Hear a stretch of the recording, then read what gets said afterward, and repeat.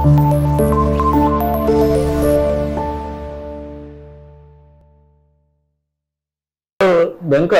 જ્યારે ક્યાંય પણ શરીરમાં આ પ્રકારનું પેન થાય ને, તો પહેલામાં પહેલું દર્દીને વિચાર આવે ઓર્થોપેડિક સર્જન પાસે જવાનો. હું પણ ગયો હતો અને એક્સરેમાં ખબર પડી કે મારે કેલ્ક્યુનિયલ સ્પર થયું હતું.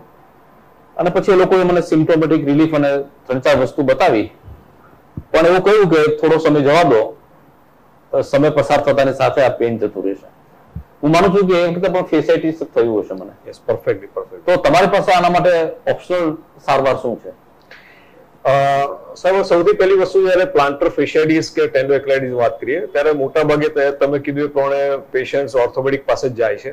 અને મોટા ભાગને એ લોકો એવી રીતે એક્સપ્લેન કરે છે કે સાહેબ તમારું જે કેલ્ક્યુલસ પર એટલે હાડકું પગની એડીનું હાડકું વધે છે એને કારણે તમારો દુખાવો છે. Actually it's a miss normal એ જે કેલ્ક્યુલસ સ્પર છે, એ પ્લાન્ટર ફેશિયાને પ્રોટેક્ટ કરવા માટે બોડી વધારે છે. કારણ કે કેલ્ક્યુલસ સ્પરની ઉપર પ્લાન્ટર ફેશિયાનું એટેચમેન્ટ છે. So it's a miss normal કે હાડકું વધે છે એટલે પેઇન છે, પણ એકચ્યુઅલી એ દુખાવો ઓછો કરવા માટે સ્પર ડેવલપ કરી રહ્યું છે.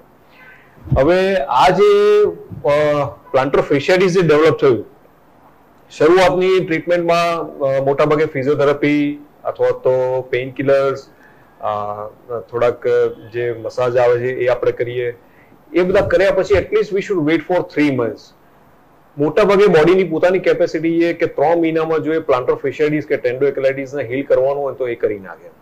પણ જો ત્રણ મહિના પછી પણ જો પેઇન સબસાઇડ ના થાય, તો દેટ મીન્સ કે it is beyond the capacity of body's healing power અને એ વખતે what we are doing that we we do the again the angiography જેમ આપણે જેનિકુલર આર્ટરી એમ્બોલેશનની હમણાં જો એવી રીતે અમે હિલની એન્જિયોગ્રાફી કરીએ અને એ હિલની એન્જિયોગ્રાફી કર્યા પછી જ્યાંથી આ ક્રોનિક ઇન્ફ્લેમેશનની સાઇટ્સ હોય જ્યાં સાઇટોકાઇન્સ રિલીઝ થતા હોય, અને that is a culprit vessels કે જેમાંથી આ સાઇટોકાઇન્સ રિલીઝને કારણે પેઇન થતું હોય છે. એ અમે આઈડેન્ટિફાઈ કરીએ અને એમાં એમ્બોલાઇઝિંગ પાર્ટિકલ્સ ઇન્જેક્ટ કરીએ, જેને કારણે ક્રોનિક ઇન્ફ્લેમેશન બંધ થઈ જાય અને પેઇન સબસાઇડ થઈ જાય.